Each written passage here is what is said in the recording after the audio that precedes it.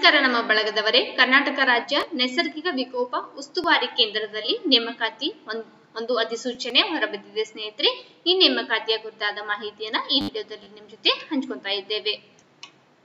ಹುದೇ ಹೆಸರು ಡೈರೆಕ್ಟರ್ ಒಂದು pay scale ಬಂದ್ಬಿಟ್ಟು ತೊಂಬತ್ ಸಾವಿರದ ಐದ್ನೂರರಿಂದ ಈ ರೀತಿಯಾಗಿ ಇನ್ಕ್ರಿಮೆಂಟ್ ಆಗ್ತಾ ಕೊನೆಗೆ ಒಂದು ಲಕ್ಷದ ಇಪ್ಪತ್ತ್ ಮೂರು ಸಾವಿರದ ಮುನ್ನೂರವರೆಗೂ ನಿಮ್ದು ವೇತನ ಇರುತ್ತೆ ಸ್ನೇಹಿತರೆ. ಶೈಕ್ಷಣಿಕ ವಿದ್ಯಾರ್ಥಿ ಮಾಸ್ಟರ್ಸ್ ಡಿಗ್ರಿ ಅವರು ಕೇಳಿದ್ದಾರೆ ಸ್ನೇಹಿತರೆ ಪಿ ಎಚ್ ಡಿ ಕೇಳಿದ್ದಾರೆ. ಇಪ್ಪತ್ತು ವರ್ಷದ ಒಂದು ಸೇವಾ ಅನುಭವ, ಜೊತೆಗೆ ಕಂಪ್ಯೂಟರ್ ನಾಲೆಜ್ ಅನ್ನು ಕೂಡಿದ್ದಾರೆ, ಕೂಡ ಕೇಳಿದ್ದಾರೆ. ಕನ್ನಡವನ್ನ ಬರೆಯಲು, ಓದಲು ಮತ್ತೆ ಮಾತನಾಡಲು ಬರ್ತ, ಬರ್ತಾ ಇರಬೇಕು ಅಂತ ಕೇಳಿದ್ದಾರೆ. ಏಜ್ ಲಿಮಿಟ್ ನೋಡೋದಾದ್ರೆ ಅಭ್ಯರ್ಥಿಗಳಿಗೆ ಐವತ್ತು ವರ್ಷಕ್ಕಿಂತ ಹೆಚ್ಚಾಗಿರಬಾರ್ದು ಅಂತ ಕೇಳಿದ್ದಾರೆ. ಸಾರಿ ಐವತ್ತು ವರ್ಷಕ್ಕಿಂತ ಮೇಲ್ಗಡೆ ಇದ್ದವರು ಅಂತ- ಅಂತ ಇಲ್ಲಿ ಕೇಳಿದ್ದಾರೆ. ಆಯ್ಕೆ ವಿಧಾನ ಅಭ್ಯರ್ಥಿಗಳನ್ನ ಶಾರ್ಟ್ ಲಿಸ್ಟ್ ಮಾಡ್ಕೊಂಡ್ಬಿಟ್ಟು, ನಂತರದಲ್ಲಿ ಅಪ್ಲಿಕೇಶನ್ ಶಾರ್ಟ್ ಲಿಸ್ಟ್ ಆದಂತಹ ಅಭ್ಯರ್ಥಿಗಳಿಗೆ ಇಂಟರ್ವ್ಯೂಗಳನ್ನ ಕೂಡ ಅಲ್ಲಿ ನಡೆಸಿ ಸೆಲೆಕ್ಷನ್ ಅನ್ನ ಮಾಡ್ಕೋತಾ ಇದ್ದಾರೆ.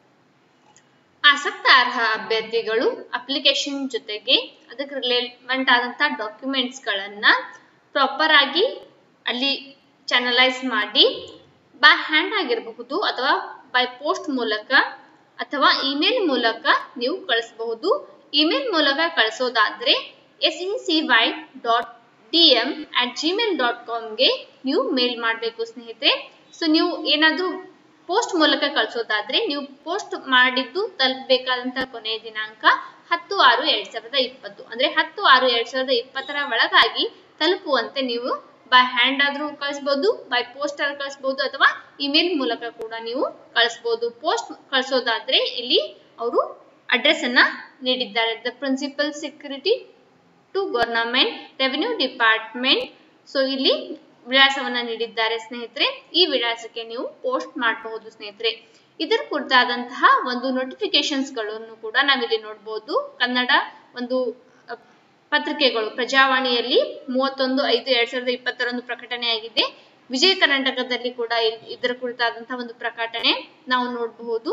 ಅದೇ ರೀತಿಯಾಗಿ ಇಂಗ್ಲಿಷ್ ಪತ್ರಿಕೆಯನ್ನು ನೋಡೋದಾದ್ರೆ ಡೆಕ್ಕನ್ ಹೆರಾಲ್ಡ್ ಅಲ್ಲಿ ಅದೇ ರೀತಿಯಾಗಿ ಇಂಡಿಯನ್ ಎಕ್ಸ್ಪ್ರೆಸ್ ಅಲ್ಲಿ ಕೂಡ ಇದರ ಕುರಿತಾದಂತಹ ಒಂದು ನೋಟಿಫಿಕೇಶನ್ ಅನ್ನ ನಾವು ನೋಡ್ಕೊಬಹುದು ಸ್ನೇಹಿತರೆ.